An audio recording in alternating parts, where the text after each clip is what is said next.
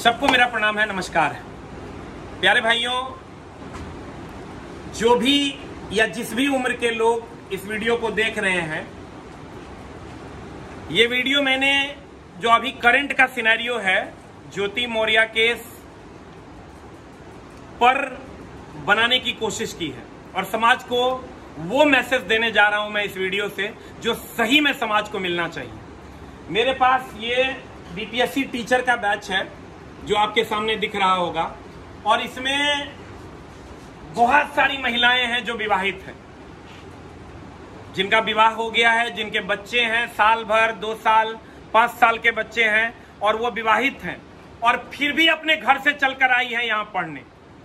ऐसा कहा जा रहा है कि पटना से सभी विवाहित लड़कियों को घर लेकर चला लेकर लोग चले गए हैं, जो उनके गार्जियन हैं, ज्योति मौर्य केस के बाद। लेकिन मैं आपको बता दूँ कि हमारे पास हज़ारों बच्चे पढ़ते हैं। आपके सामने ये बच्चे और बच्चियाँ हैं जो पढ़ रही हैं और इसमें लगभग 60 टू 70 परसेंट लड़कियाँ विवाहित हैं और किसी को बुलाया नहीं गया है। ये बातें कंप्लीट गलत हैं, झूठ है और अफवाह है। क्या ऐसी घटनाएँ पटना में हो रही है? किसी ये सभी लड़कियाँ, आप देखिए आपको दिख रहा होगा क्लियरली, लगभग लड़कियों के मांग में सिंदूर है और वो लड़कियाँ विवाहित हैं। लेकिन इनको फैमिली का किसी भी प्रकार का प्रेशर नहीं है। तो कृपया ये झूठ न फैलाया जाए कि पटना से विवाहित लड़कियाँ या लड़कियों को घर बुलाया जा रहा है। अगर ऐसा कोई फैला रहे हैं तो मैं उनसे हाथ जोड़कर नम्र निवेदन करूँगा कि कृपया लड़कियों के भविष्य के साथ न खेलें। ऐसी कोई घटना पटना में नहीं हो रही। आपके सामने है ये लड़कियाँ और ये लड़कियाँ खुद इस बात को बताएगी कि क्या ये घटना सही है या गलत है। अभी सोशल मीडिया पे जिस तरीके से चला जा रहा है, वो गलत है। एक आदमी के गलत होने से पूरा समाज गलत नहीं हो जाता है। एक आदमी गलत है, आप उसको जेल में डाल दीजिए। क्या एक आदमी के गलत होने से सारे, पूरा समाज गलत हो जाएगा? कभी नहीं। अगर एक आदमी, अगर मान लेते हैं कि मनीष सिसोदिया जी गलत थे या नहीं थे तो आपने उसको जेल में डाला। इसका ही मतलब थोड़े कि पूरे आम आदमी पार्टी को आप जेल में ले जाके डाल दीजिए। ये गलत है। पूरी लड़की इस प्रजाति को कटघरे में खड़ा करना, ये कहीं से भी सही नहीं है। आइए हम कुछ लड़कियों से बात करते हैं और जानने की कोशिश करते हैं कि क्या उनके ऊपर भी ऐसा प्रेशर है? क्या लोग उनको भी ऐसा कह रहे हैं कि नहीं, तुम घर चले आओ? क्या उनके घर से कोई प्रेशर है? या उनकी कोई दोस्त, कोई लड़की, विवाहित लड़की यहाँ से चली गई है इस ज्योति मौर्य केस के बाद? तो आइए हम लोग इस बात पर जानने की कोशिश करते हैं। तो पहले हम इनसे मिलते हैं। क्या नाम है आपका और कहाँ से आई है? नमस्कार, मेरा नाम रंजना रानी है। और मैं नवादा डिस्ट्रिक्ट से आई हूँ। और यहाँ यहाँ का माहौल यहाँ का कल्चर और इस इंस्टीट्यूट का से मैं प्रिपरेशन कर रही हूँ। यहाँ जो ये ज्योति मौर्य का जो केस आया है ऐसा यहाँ हम लोग यहाँ पे कई क्या पटना में ऐसा केस है कि जो विवाहित लड़कियाँ ज्योति मौर्य केस के बाद उन्हें बुला लिया गया नहीं है नहीं ऐसा कुछ भी नहीं है। जहाँ मैं पढ़ रही हूँ वहाँ पे पचासों से सौ के बीच में लड़कियाँ हैं जो कि विवाहित हैं और उसमें अविवाहित भी है, लेकिन ऐसा कुछ भी नहीं है कि उनके परिवार वालों ने इस केस को फॉलो करते हुए और लड़कियों को घर बुलवा लिया है। बाकी, और मैं भी एक विवाहित लड़की हूँ, मेरे को मेरे पूरे फैमिली से और मेरे हस्बैंड ऑल फैमिली मेंबर्स मुझे फुल सपोर्ट के साथ और रोज मुझे सांत्वना देते हैं कि आप बेफिक्र होकर के पढ़िए, ऐसा हम लोग कुछ भी फील नहीं करते। वेरी गुड और कोई लड़की इनसे हम मिलते हैं, आइए। ये लड़की दिल्ली से आई है और इनका पाँच साल का बच्चा है।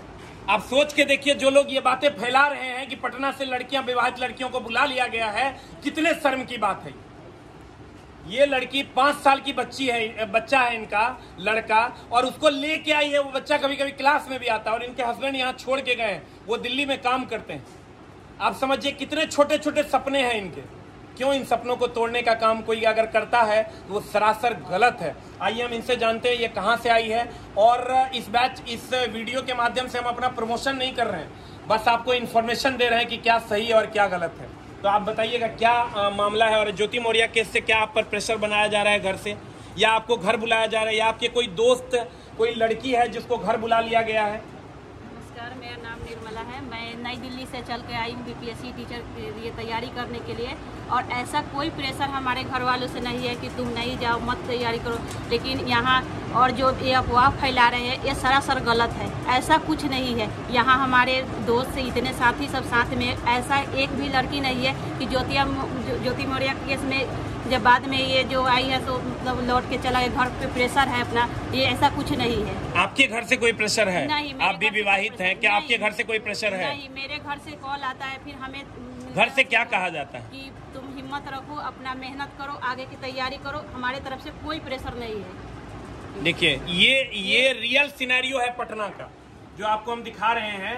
This is the real story of Patna. Patna में या कहीं भी, ऐसा कोई इतने बेवकूफ़ गार्जियन थोड़े होंगे कि एक लड़की या एक लड़का कोई गलत होगा तो पूरी सभी लड़कियों को घर बुला लिया जाएगा। ये सरासर गलत है। आप देखिए, इतनी सारी लड़कियाँ हैं और लगभग इसमें 80 परसेंट विवाहित लड़कियाँ हैं। और कोई जो सामने आकर बोलना चाहती हैं, आइए हम इनसे मिलते हैं।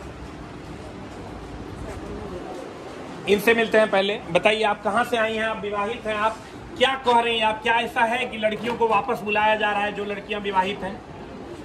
मेरा नाम ब्यूटी कुमारी हुआ। हम बीपीएससी की तैयारी करने के लिए नवादा डिस्ट्रिक्ट से आए हैं। ऐसे घर मेरा पटना भी हुआ, त्रिपोलिया हॉस्पिटल के पास गाय घाट और ऐसा कोई भी प्रेशर नहीं है ज्योति मौर्य के बारे में कि विवाहित लड़कियों को घर बुलाया जा रहा है।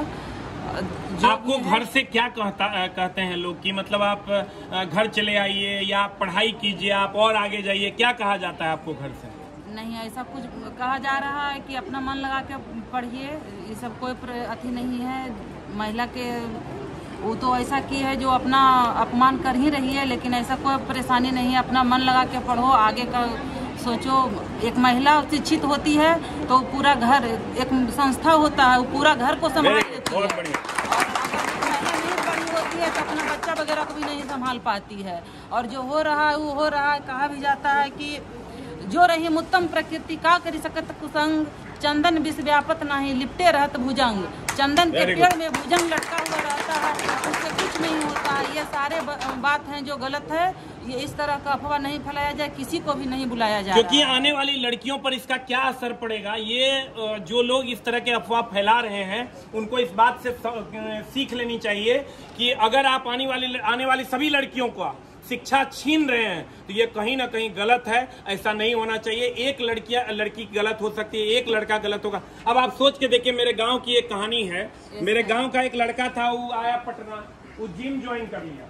और जिम ज्वाइन करने के बाद वो एक अलग डायरेक्शन में चला गया नशा करने लगा वगैरह वगैरह करने लगा और वो घर चला गया। तो घर चला गया तो आप समझिए कि उसको नौकरी नहीं लगी। क्या उसको हम आइडियल केस क्यों नहीं बनाते? उसको आइडियल केस बना के सभी लड़कों को रोक देना चाहिए? या सभी लड़कों को घर बुला लेना चाहिए? गलत और सही हर जगह है, लेकिन हमें सही को प्रमोट करना होगा और गलत को छुपाना होगा। गलत को उसकी सजा देनी होगी। आइए हम इनके पास चलते हैं। आप आप कहाँ से चलकर आई हैं और किस चीज़ की तैयारी कर रहे हैं और आपके घर में क्या ऐसा बोला जा रहा है? कि ज्योति मौर्या केस के बाद क्या आपके हस्बैंड ये कह रहे हैं कि चले आओ? या आपके हस्बैंड आपको प्रमोट कर रहे हैं कि कुछ करके आना? है प्रमोट करते हैं कुछ करके हम पूर्णिया डिस्ट्रिक्ट से बनमनखी ब्लॉक से चकमका बाज़ार से मैं हूँ। मेरा नाम बबीता कुमारी है। मैं बीपीएससी टीचर वाला तैयारी करके आई हूँ। मेरे घर से ऐसा कोई हम्म, प्रेशर नहीं है जो तुम चले आओ या और प्रो, प्रोत्साहन करते हैं जो पढ़ो और मन लगा करके पढ़ो। ऐसा नहीं है भाई बहन जो दुनिया में हर लड़की एक तरह होते हैं। हर लड़की के का ख्वाहिश ऐसा होता है जो हम अपने पति का सपोर्ट करें। और ताकि हम दोनों मिलकर कोई कार्य करें पति को ही बाहर ना पड़े। हम दोनों मिलकर करें। कुछ लोग ऐसा कह रहे हैं कि पटना से विवाहित लड़कियों को बुला लिया गया है। बहुत सारी लड़कियाँ चली गई। क्या आपके दोस्त यार या आपके क्लासमेट जो इतनी सारी लड़कियाँ इसमें से कोई कोई किसी के साथ ऐसी घटना घटी है? किसी के साथ ऐसा नहीं हुआ। मेरे क्लास में तो किसी के साथ ऐसा नहीं तो मतलब हम ये कह सकते हैं ये कंप्लीट अफवाह है और एकदम। कंप्लीट सफ़ेद झूठ है। एकदम अफवाह है एकदम झूठ है हंड्रेड परसेंट झूठ है। वेरी गुड एक बार जोरदार? आइए हम इनके पास चलते हैं और ऐसे अनेकों एग्ज़ाम्पल आपको दिखाई देंगे। हमारी क्लास में हम सिर्फ़ विवाहित लड़कियों के पास लेकर आपको चल रहे हैं, जिनका बाइट हम आपको सुना रहे हैं। आप सुनने की कोशिश कीजिए और इस चीज़ को समझने की कोशिश कीजिए। सभी लोग गलत नहीं हैं। गलत वो लोग हैं जो एक के गलत होने से पूरे समाज को उस टाइप का मानने लगते हैं। तो आइए हम इनसे जानते हैं आप कहाँ से हैं। नमस्कार, मैं रूपम कुमारी, सुपौल जिला से हूँ। मैं दो जुड़वे बच्चे को छोड़कर आई हूँ। मेरा हस्बैंड दोनों बच्चे को संभाल रहे हैं। वो मुझे खूब मोटिवेशन देते हैं। तुम अच्छे से करो तुम कोई टेंशन नहीं लो मैं सब कुछ ठीक कर और वही से मेरा परिवार बहुत अच्छा है मुझे बहुत सपोर्ट करते हैं।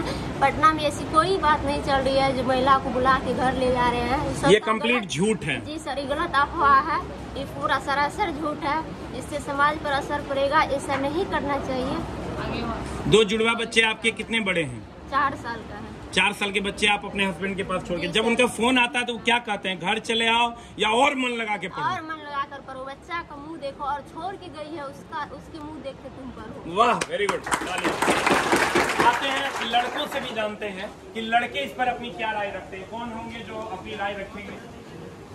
पहले हम इनके पास आते हैं और इनसे सुनने की कोशिश करते हैं समझने की कोशिश करते हैं। ये जो पटना में चल रहा है कि लड़कियों को, विवाहित लड़कियों को बुला लिया जा रहा है। क्या ऐसा हो रहा है आपके क्लास में इतनी सारी लड़कियाँ? हैं आपको क्या फील हो रहा है? ये हंड्रेड परसेंट गलत अफवाह है।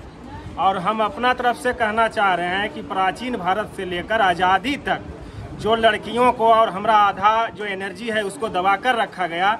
और हम आज़ाद भारत के बाद जब हम आए तो ऐसा हुआ कि आधा एनर्जी भी धीरे धीरे काम पर आया, जिससे भारत का प्रगति हुआ।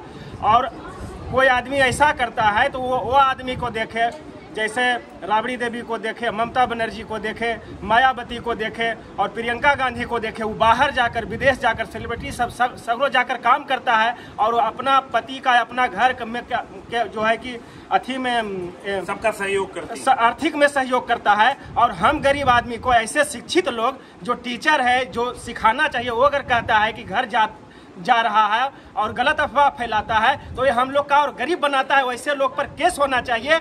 और एक लड़की ऐसा किया है तो हज़ारों लड़का यहाँ तक मोदी जी भी क्यों छोड़े हैं?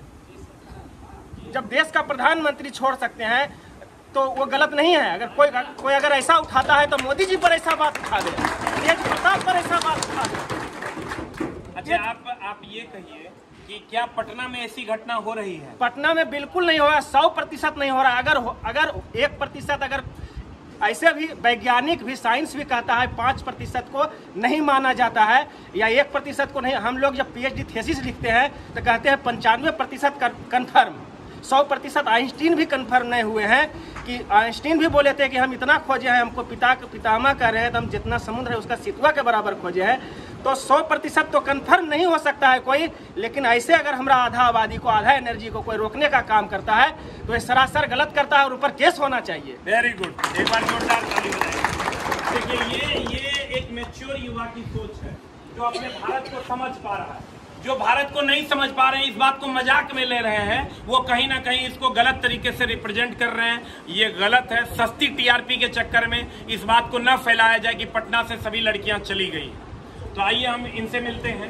आप कुछ कहना चाहेंगे? पटना से सभी लड़कियाँ चली गई है, ज्योति मौर्या केस पर, ऐसा माना जा रहा है। क्या कहते हैं आप इसमें? सबसे पहले तो मैं समाज का सबसे बड़ा मार्गदर्शक शिक्षक को माना जाता है। और जो शिक्षक ही जो इस तरह का बात बोलेंगे, सो ऐसे ऐसे बात होती है। इसमें समाज में भी और क्या कहते हैं, देश, पूरे देश में बहुत बड़ा गलत संदेश जाएगा।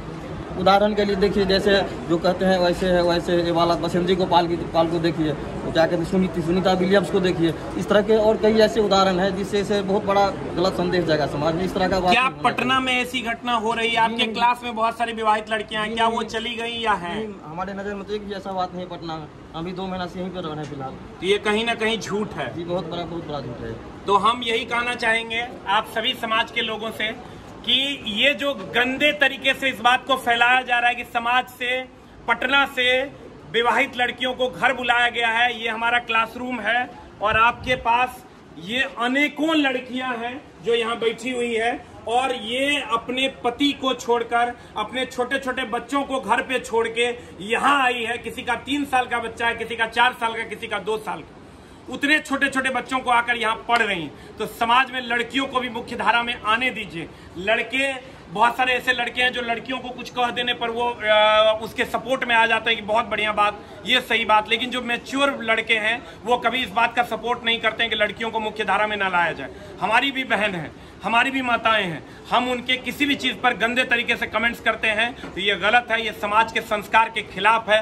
भारत को अगर विश्व गुरु बनाना है तो 50 परसेंट आबादी को भी मुख्य धारा में लाना होगा। और आपके सामने ये क्लासरूम है। यहाँ पर ऐसी कोई घटना नहीं घटी है पटना में। अगर ऐसा कोई कह रहा है तो ये गलत है। हम इसकी निंदा करते हैं। Thank you very much love you all नमस्कार।